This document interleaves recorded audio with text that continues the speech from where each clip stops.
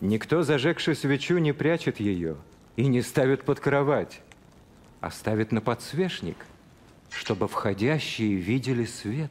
Ибо нет ничего тайного, что не сделалось бы явным, ни сокровенного, что не сделалось бы известным и не обнаружилось бы. Итак, наблюдайте, как вы слушаете, ибо кто имеет, тому дано будет. А кто не имеет, у того отнимется и то, что он думает иметь. Учитель, мать и братья твои стоят вне, желая видеть тебя. Мать и братья мои, суть слушающие и исполняющие Слово Божие –